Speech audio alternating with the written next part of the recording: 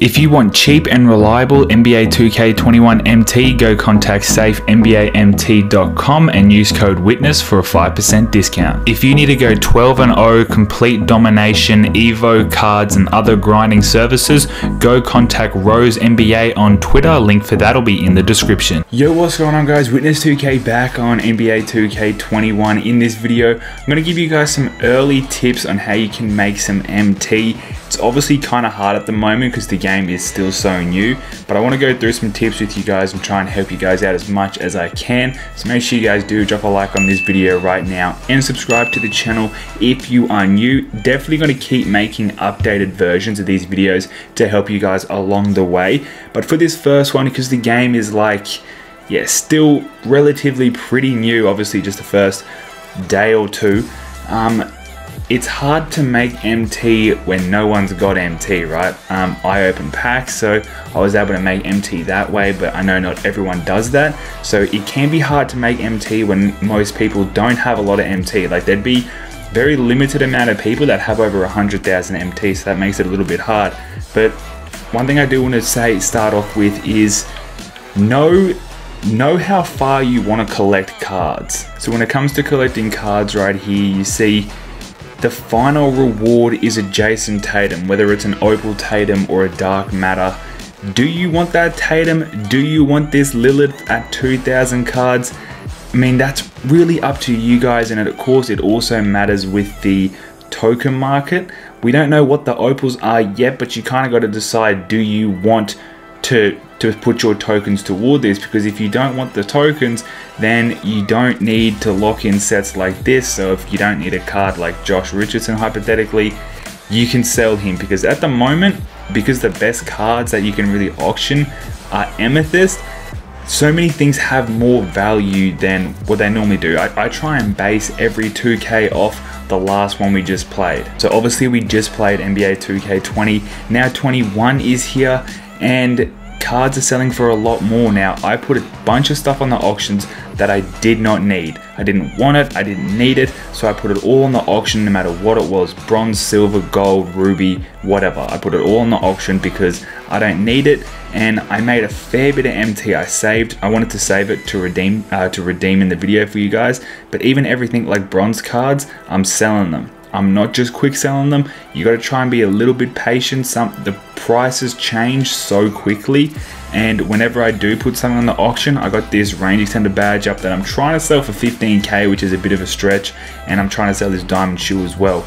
Only put things up for four hours because the auction can change so quickly especially when the game is so new, the auction can change so quickly, so it's not really worth putting it up for 24 hours. Within an hour, the price has changed and you've got to wait 24 hours to sell your thing.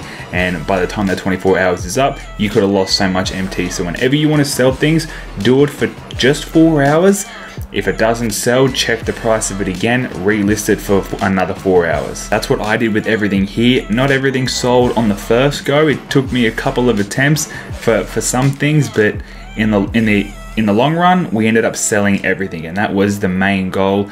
Um, one thing I will say is with silver cards, I don't really recommend selling silver cards. I had a, I got a bunch of silver cards that I, I was going to sell, but they don't have much value right now, so they're not really worth selling. I do believe silver cards will go up in price, so I do recommend just hanging on to your silver cards for now until we know what the opal rewards are. That is going to raise value of silvers until better things come into the exchange. That'll range value as well of silvers. I was able to sell a Joel Embiid for 7k MT. Kyle Lowry, I sold two of him, I think.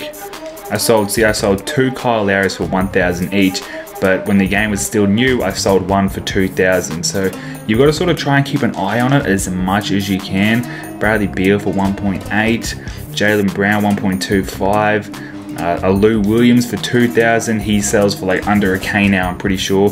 Donovan Mitchell for two and a half, and I got a PG right here that I was able to sell for 9k, which was actually a duplicate. I do like that PG card. Another tip, obviously domination. There's always MT to be made in domination. I mean, you play what 33 games per per um what would you even call this round or whatever you call it per 99 stars. You know, if you can get a thousand MT per game, That's 33 grand. You're gonna get a lot of tokens from it as well, which is always good. And there's some N rewards there. You get one and a half thousand MT, 3,000 MT as well for getting three stars. And it's gonna be the same thing with historic domination and all-time domination, except the rewards are gonna be even better. So that is a good way. I wouldn't say that is a quick and easy way to get MT though. Domination looks like a hell of a grind. I don't know if I'm going to have the, the patience to really bother with it this year. It looks like a hell of a grind for not that great a reward, so I'm not really messing with it. Um, we got Triple Threat offline. I played a couple of games. If you can get the vault to open a lot and it keeps giving you the 1000 MT, that's good, but the rewards, they never get good. They never get good. You have 4,000 MT right here, but that's pretty much you'll get all of that once you get the 300 wins. It would be good to get to the 300 wins, so when the new season comes out, you know, and there's another 300 games, then you'll be at, there might be some better rewards. But right now, this is not worth it, and it's definitely not going to be quick and easy to grind. We're going to open up a few of these deluxe packs now. We'll open up about 40k worth. See if we can get lucky with a nice pull. I don't recommend you guys spend money on packs, but you know, if you do have the, the pre-order bonus or something like that, then you may as well, right?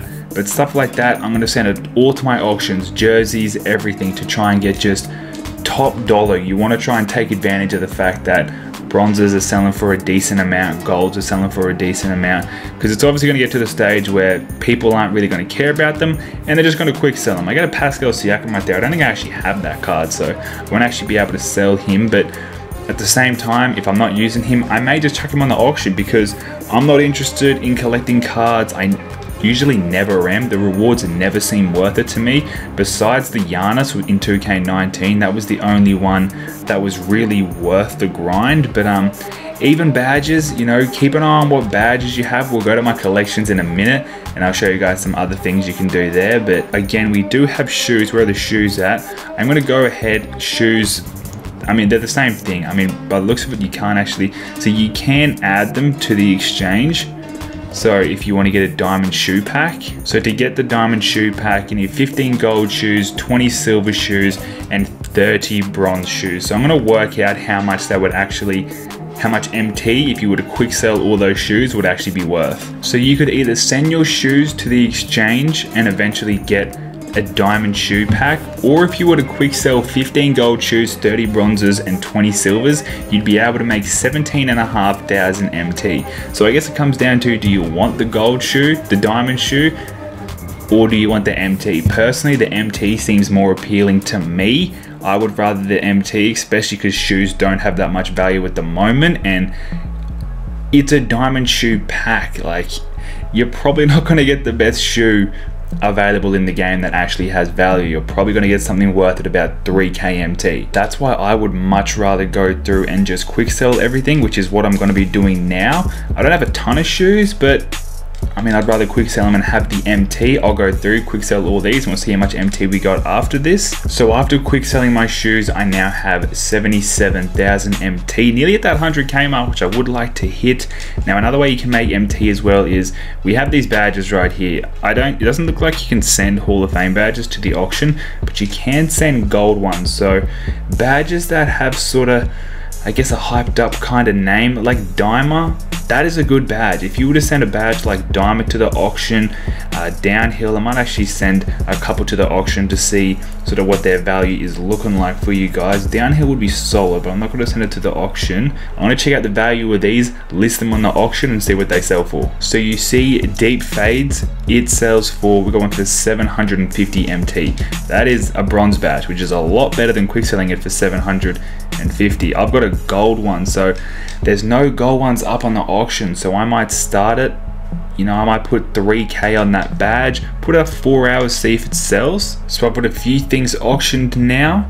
Um, they still have a, quite a while to go, including these cards right here. I put these jerseys up for a bid, which is just a quicker way of doing it if you don't want to search it. But I got these cards up, some badges up. If all this sells, there's over 20,000 MT just sitting here if it all sells. But if it doesn't, I'll send it back to the auction, relist it, put it up for another four hours, for a little bit cheaper and wait for it to sell then. That is going to wrap up this video guys. Wanted to show you guys some little tips on how you can make MT, how you can grind for it, what you can sell if you need it or if you don't need it. Again, if you want something like a diamond shoe, you can definitely send your shoes to the exchange, but if you don't think it's worth it, like I don't, it's literally 17 and a half thousand MT for a diamond shoe pack that might cost 3000 MT shoe. So it doesn't really seem worth it in my opinion.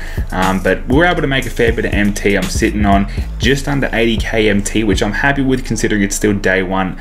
By the time me recording this I haven't even been playing for 24 hours yet. So I'm pretty happy to have 77k MT in the bank but I hope you guys did enjoy this video. I hope it helps you out. Make sure you do drop a like right now and subscribe to the channel if you're new and I'll catch you guys in the next upload. It's been witnessed.